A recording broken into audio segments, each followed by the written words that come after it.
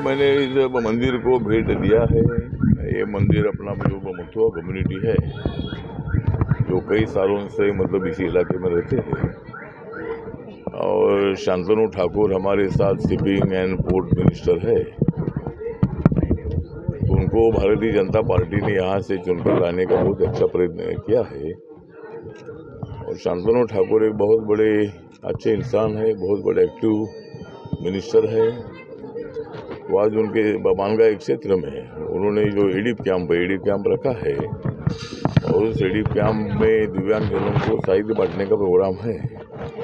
उसी प्रोग्राम के लिए आज मैं आया हूँ। या मैंने इस मंदिर को भेंट भी दिया है ठाकुरवाड़ी में, और अभी शांतनु के घर जाकर मैं उसी प्रोग्राम में जा रहा हूँ।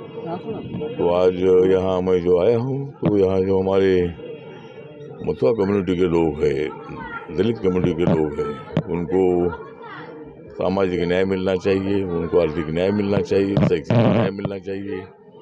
इसके लिए मेरा जो मंत्रालय है सोशल जस्टिस ये कोशिश कर रहा है।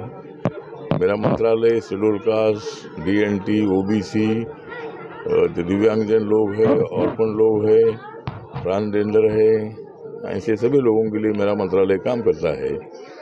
और मेरे मंत्रालय के अंतर्गत शेड्यूल कास्ट कमीशन आता है, ओबीसी कमीशन आता है, सफ़ाई मजदूर कमीशन आता है।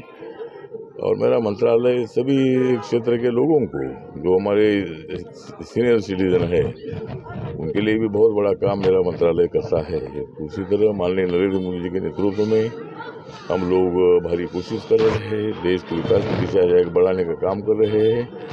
और इसीलिए आज मैं वेस्ट बंगाल में आया हूँ, कलकत्ता और ये मतलब चौबीस परगना ज़िले में मैं आया हूँ बांगा में आया हूँ। और हम ज़रूर यहाँ के सभी लोगों के विकास के लिए ज़रूर कदम उठाएँगे।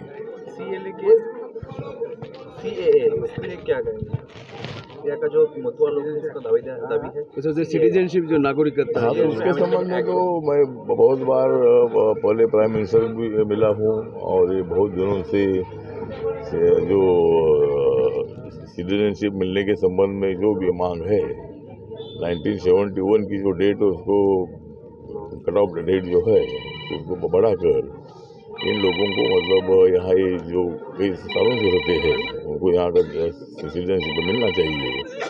मेरी पार्टी की पॉलिसी मांग रही है और मैंने उसके लिए आंदोलन भी किया है, मैं बहुत बार कोशिश भी किया है। या एक बहुत बड़ी रैली हुई थी, उसमें भी मैं इसमें आया था। तो सीए के बारे में हमारा कहना ये है कि भाई इनकी जो मांग है, उसको मान्य करना चाहिए।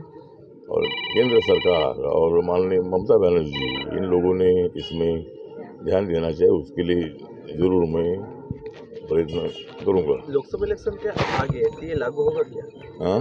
लोकसभा इलेक्शन के पहले सीए लागू होगा अभी ये कोशिश तो करेंगे मतलब इन लोगों की मांग तो बहुत सालों से है। उसके लिए शांतनु ठाकुर भी कोशिश कर रहे हैं हम भी कोशिश कर रहे हैं। और इन लोगों को न्याय मिलना चाहिए। इन लोगों को कई सालों से चालीस पचास साठ साल से लोग यहाँ रहते हैं। ऐसे लोगों को यहाँ की नागरिकता मिलनी चाहिए और उसके लिए ज़रूर हम लोकसभा के पहले भी हम कोशिश करेंगे। वेस्ट बंगाल जो वेस्ट बंगाल में जो पॉलिटिकल हिंसा हो रहा है इसके बारे में क्या तो पॉलिटिकल हिंसा नहीं होनी चाहिए पॉलिटिकल हिंसा हो या सोशल हिंसा हो हिंसा करना ये अच्छी बात नहीं है। कोई भी सरकार हो उन्होंने शांति से काम करना चाहिए कोई भी पार्टी हो उन्होंने शांति से काम करना चाहिए। एक दूसरे पर हमले करने से मुझे लगता है कि अपने स्टेट की जो इमेज है वो खराब होती है, बहुत सारे लोगों को तकलीफ़ होती है। इसीलिए मुझे लगता है कि वेस्ट बंगाल में जो हिंसा चल रही है, उसको रुकना चाहिए और उसके लिए मतलब हमारा निवेदन इतना ही है कि भाई माननीय ममता बनर्जी जो यहाँ की मुख्यमंत्री है और जब वो एनडीए में अटल बिहारी वाजपेयी की सरकार में ममता बनर्जी रेल मंत्री भी रही है। उनके साथ मेरे बहुत अच्छे संबंध भी है। तो उन्होंने मतलब यहाँ शांति रखने के लिए सरकार की तरफ़ से कोशिश होनी चाहिए। यहाँ ज़्यादा गुंडागर्दी नहीं होनी चाहिए ऐसा मुझे लगता है। ठीक है। ठीक है ठीक। है